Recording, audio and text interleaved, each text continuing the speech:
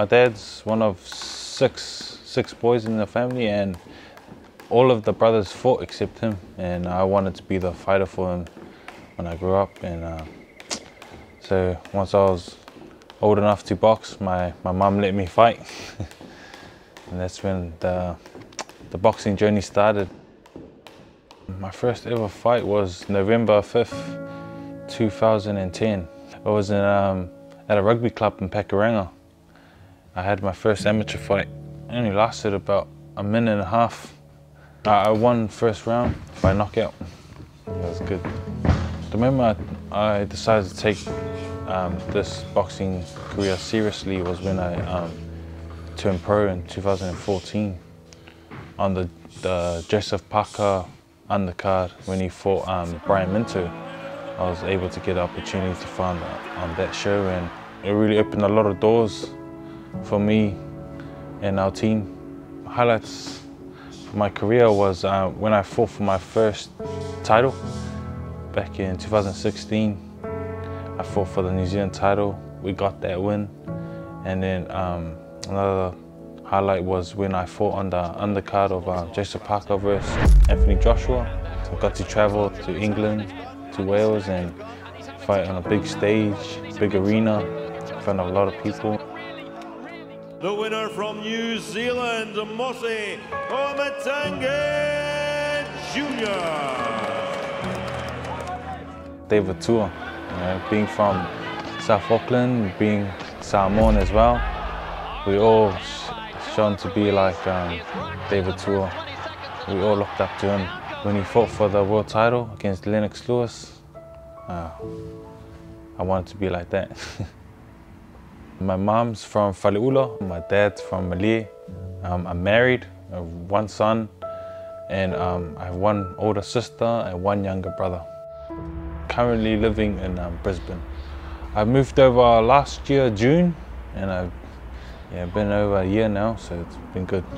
I attended the greatest school in the world, De La Salle College in Mangere East. Yeah, um, just a normal South Auckland childhood, you know, playing rugby, playing sports, school, nothing too fancy, you know, just a normal Samoan typical family.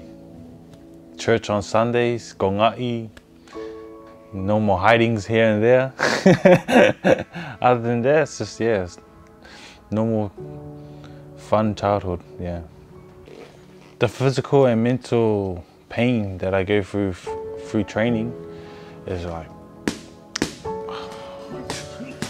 battering my body in, in the gym, you know, day and night, making making sure the stream works, you know, and then having to to go to work after that as well to provide for my family. And then putting on the, the father hat when I go back to um, back home. And being the dad I need to be, being the husband to my wife, my, being the dad to my son. I'm training here at um, Dragonfire Boxing Club here in Coogin. And um, I'm living here at the gym from Monday to Saturday.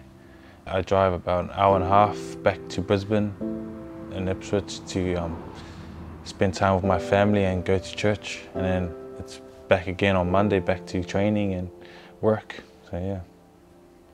One of the lowest um, moments in my career as to why I took uh, two years off was because um, I got caught up in life and uh, life caught up with me, family, and um, got distracted.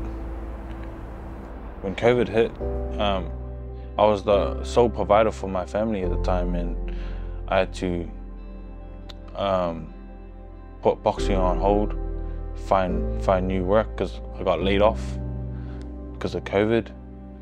And then after that, I just I fell off and I wanted to quit boxing altogether.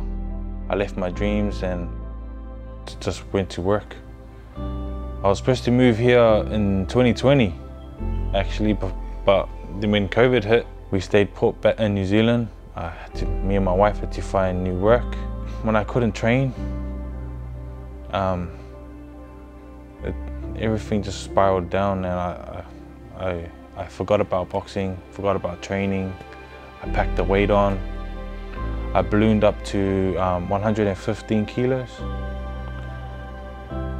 and um, yeah.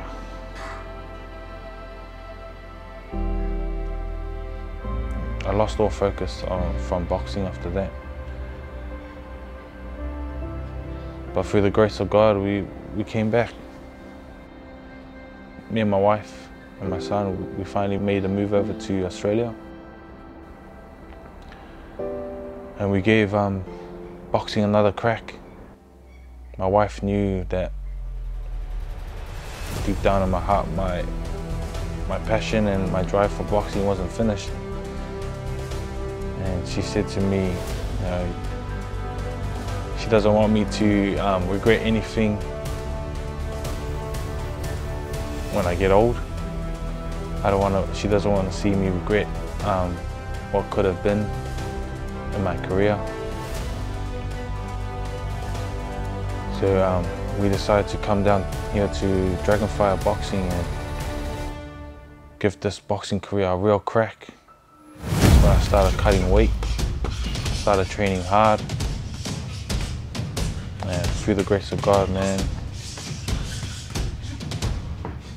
we're back and we're almost there, you know, after this fight.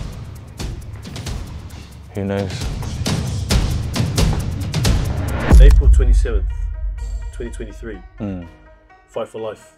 Yep. Tell us about your opponent, Jerome Pampellone, Yep. and where does this lead you in the rankings if you win? This fight will catapult us in the top five if, if we if we can get past Jerome. I know Jerome. We've been training partners for years. We used to help each other in the ring for sparring when I was um, living in New Zealand. So we know each other. This is a big fight for um, our team, for me especially and my family. This fight will take us to um, one closer step to accomplish my dream of being a world champion. I respect Jerome. I respect him. And taking this fight, well, there was no malice, no bad intention behind it. This was just business. This is just business. May the best man win. I took this fight for my family and for my dream. I fight the good fight and stare on the crest. Just don't get it twisted. I want to thank um, my wife, my son, my family, my friends, my close friends. You know who you are, and um, my sponsors, Parker Films, Attention Detailing, Interseat Security, Brown Pride, Little Paws Big Hearts, and Dylan Electrical. bring the bang. I am Moss, I, I, I am Moss. They say where you been, slaying bears and lions in the spirit. Giant step get slayed, trying to be brave. End of days, every tongue confessing, every knee will bend and then bow to the sensei. Tell him nah, I don't play games. Train hard in the secret boy, been praying. The